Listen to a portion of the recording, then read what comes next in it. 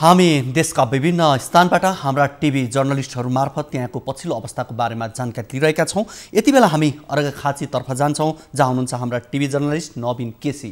नवीन जानकारी गराउनुहोस् अर्घाखाँचीको पछिल्लो अवस्था के छ?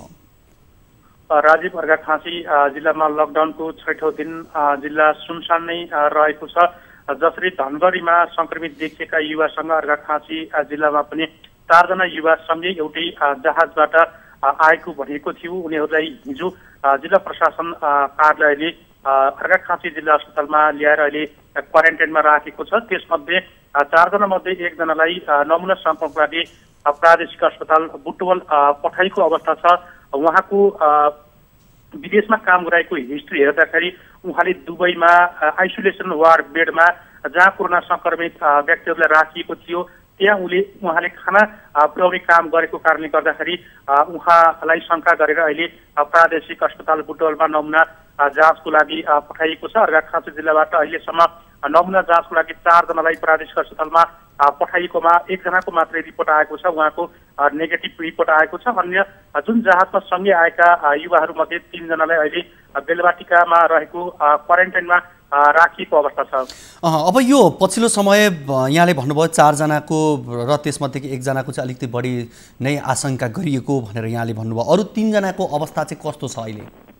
अहिले उहाँहरूको स्वास्थ्य अवस्था सामान्य रहेको छ। यद्यपि उहाँहरूको परिवारलाई पनि सेल्फ क्वारेन्टाइनमा राख्नको लागि जिल्ला प्रशासन कार्यालय र त्यहाँ रहेका स्थानीय तहहरूले समन्वय गरेको बताइएको छ।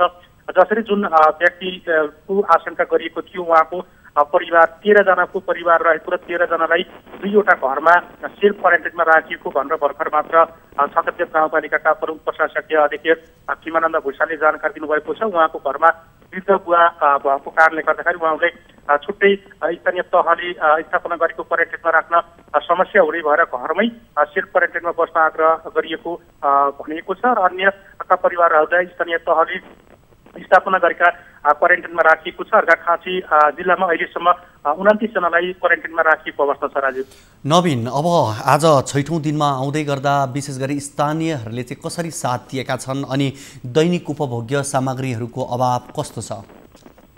सदरमुकाम सन्धि खर्कमा दैनिक उपभोग्य सामानहरूको किन्नको लागि समय व्यवस्थापन गरिएको छ त्यो भएर अर्घाखाँची जिल्लामा खाद्यान्न अभाव रहेको अवस्था छैन।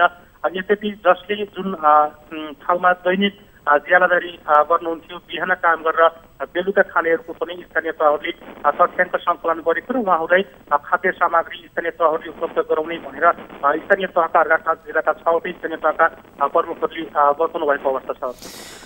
धन्यवाद नवीन। यो जानकारीको लागि उहाँ हुनुहुन्थ्यो अर्घाखाँचीबाट हाम्रा टिभी जर्नलिस्ट नवीन केसी। पछिल्लो अवस्थाको बारेमा उहाँले जानकारी गराउँदै हुनुहुन्थ्यो। कोरोनाले सिर्जना गरेको सङ्कटमा पल पलका न्युज अपडेट र हर क्षेत्रको कभरेजका लागि। News twenty four Nepal YouTube च्यानललाई सब्सक्राइब गर्नुहोला।